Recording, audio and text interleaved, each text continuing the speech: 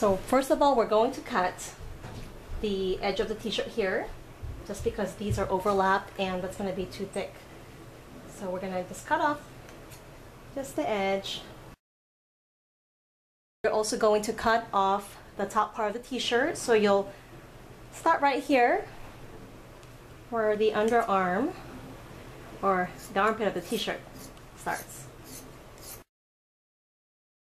Okay, so we'll be cutting these into one inch strips and as you cut all the way to the top, you don't want to cut all the way, you want to leave at least an inch near the edge here. And that'll equal to two inches altogether because you'll have another inch on the other side of the shirt. And you can make the strips wider. So this is about an inch and a quarter strips I'm cutting.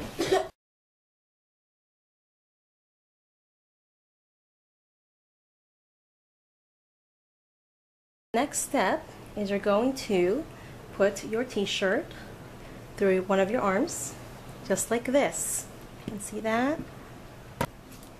Now we're going to cut them, and you want this a continuous yarn, so you're going to cut at a slant. First of all, I'm going to go ahead and cut off this first piece here.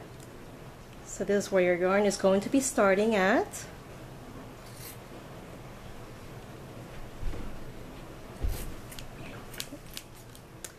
The next one, you're going to start on this other side and you're going to cut across on the other side on a slant. So as you can see, these are still connected. You're going to keep doing that until you get to the end. So again, start from this other, other one side here and kind of across diagonally.